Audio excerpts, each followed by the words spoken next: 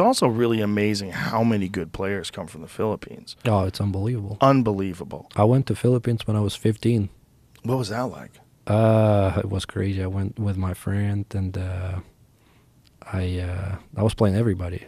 You know, I was playing a bartender that I couldn't beat. I was 15, and I was I, was- I was thinking I'm good. I mean, I was coming there to play good players, but I ended up playing everybody, and I was just amazed how how good everybody's playing over there. Like the guy who works 24 hours behind the bar, just never plays pool. I mean, he's just just a regular player in some random pool room can run a couple of racks playing nine ball. That's how, how crazy it is. For me, it's insane. If you walked in, into the bar here or anywhere else, I mean, would you imagine that the guy will run a two pack of nine ball? Probably not. Yeah, most likely not. And it, it happened multiple times for me there. Really? So Yeah. the, just the level seemed higher there. Yeah, yeah, and the game is really, really big. I mean, the taxi drivers, they know who, everybody knows who Efren Reyes is, you know, Francisco Bustamante. I've met people that are Filipino immigrants to America, and and they'll tell me they're Filipino. I go, "Do you know who Efren Reyes is?"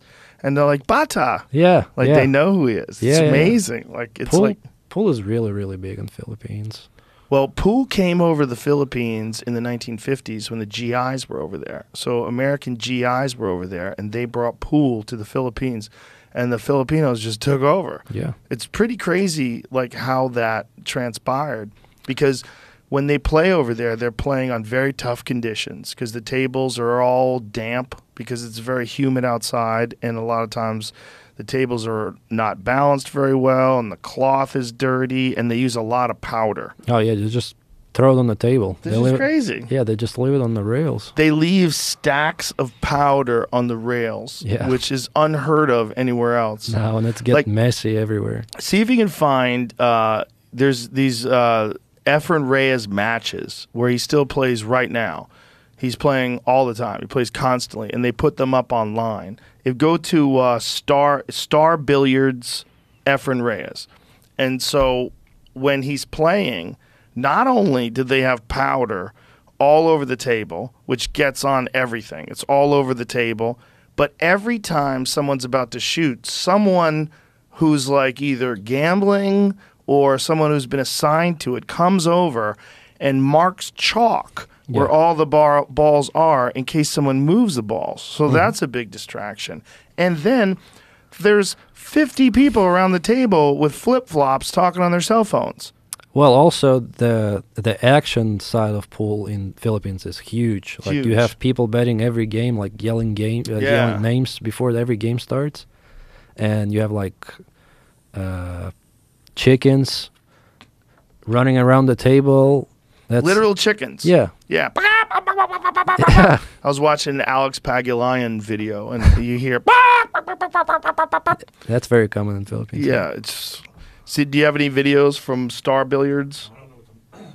I don't know exactly what I'm looking at. Nothing's coming up from like a Star Billiards account. Yeah, I'll find something for you. It's it's pretty specific, but the scene there is so fascinating because it's contrary to everything that you would ever expect in a in a pool tournament. In a tournament other than the Mosconi Cup where people are cheering in between shots, in these turn in these matches that they're playing, there's so much distraction. Oh, distractions every shot. I mean, they're trying to shark you too, because if you're a foreign player coming to Philippines, they most likely will be betting against you. Yeah. So- Oh yeah, definitely. Um, see, I'll find something for you here. Hold on a second, Jamie.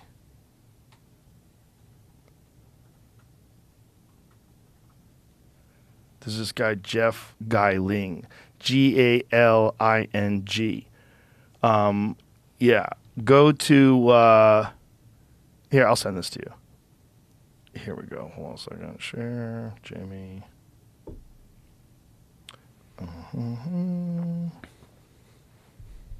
Here, I sent you something. Um, so this place, the way they do it, is the best uh, preparation against someone distracting you, because they're constantly distracted. So they learn how to like relax and focus. So here, look at this game. So look, yeah, that's a typical game in the Philippines. everyone's smoking cigarettes. People are taking selfies. They're all surrounding. I mean, they are feet from the table.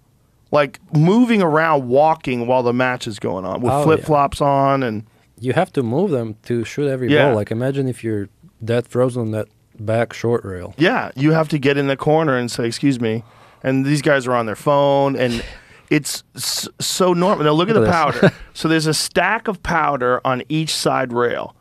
And the stack of powder is so that they can use it and keep the, the cue ball moving slick through their hand. But no one anywhere else does this. No. Well, you can also imagine how humid it is over yeah, there. he's just practicing right now. He's he's getting ready and warming up. So scoot ahead a little bit so you can actually see the match. This is not the match for sure. Here we go. Now now he's actually playing. So that fucking powder, that shit gets on the table itself and it slows everything down. And it also makes the balls cling. They stick to each other. Oh yeah, he's grabbing the cue ball before every game starts too, and Yeah. it, gets on the cue ball, and then. But the because they play in these imperfect conditions, because they're accustomed to it, they develop these amazing strokes. I Oh, mean, yeah. Efren's stroke is just a thing of beauty. And also, he, I think that's probably one of the reasons why they chose heavier cues because they were dealing with this very slow cloth because it was always dirty, humid conditions. So, in humidity, the balls don't move as well because there's dampness on the table. Oh, he is getting a spot from that guy. It looks like he's getting a spot. Well, you know, Efren's very old now. yeah. He can't see very well, but the guy's still in action constantly. Every every every week. I'm but sure. look at this fucking crowd. Look at all these people. So this guy, uh, Jeff Galing, he has uh, this YouTube channel where he's constantly showing these matches Look from the, the, people Philippines. on the street. They're just Yeah. that's, that's the street there. Yeah, the doors open. There's people on the street outside that can't get in that are watching this match because that's what kind of a legend Efren is. Yeah, there's a guy sitting in the closet over there. Yeah, he's in a fucking closet watching from the closet. If you, I mean, in, in any other pool room, like if you were in Texas and this was going on and you're gambling, you'd be like, "Get the fuck out of here!" Like, why is everybody near the table? They're they're right there. They're like where I am, like right here. Yeah. They're that close to the table while some of the best players in the world are playing. But it's really good practice, like you said. After after playing in such a different experience. Yeah. Well, the Filipinos are what what you call shark proof. Yeah. And what, what sharking is, people think of pool shark as being someone who's like really good at pool. That's not what we call sharking. Sharking, for the people that don't know, is like if you were about to shoot and I moved and distracted you on purpose. Like I wait until you're right about to sh- to move and I'll drop my cue. Yeah.